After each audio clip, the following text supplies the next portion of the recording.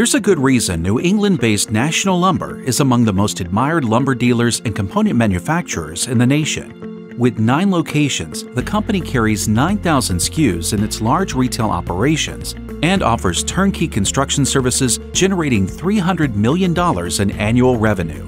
National's 657 employees process more than 300 plans per month, roughly 200 of which are multifamily.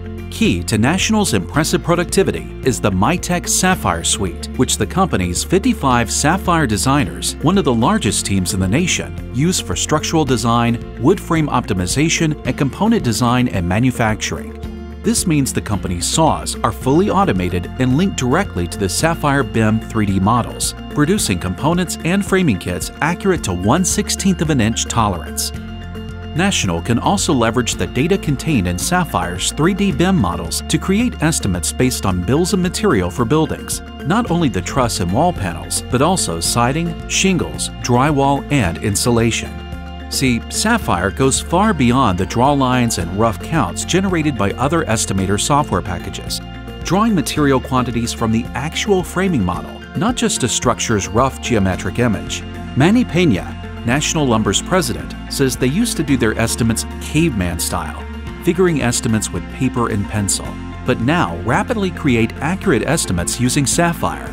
Another Sapphire feature Pena values it can reach across National's operations to incorporate their product SKUs to create a complete quote, performing analysis and design on a wide range of structural products, including engineered wood products, dimensional lumber, and even metal connectors and hangers and sharing the common 3D BIM model promotes collaborations with building material dealers, component manufacturers, builders, developers, architects, and trades too.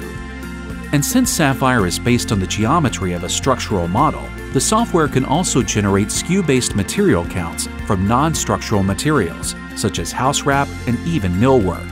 In fact, every one of National's 9,000 SKUs is available for inclusion in a project estimate.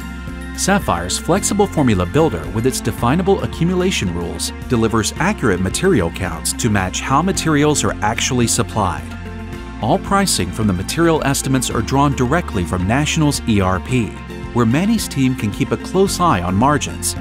The company is so well organized that it has a single ERP software system for all of National's products across all locations, so customers can't inadvertently engage multiple locations bidding against each other verifiable, traceable bills of material can be generated with exacting precision, all visually tracked within the 3D structural model.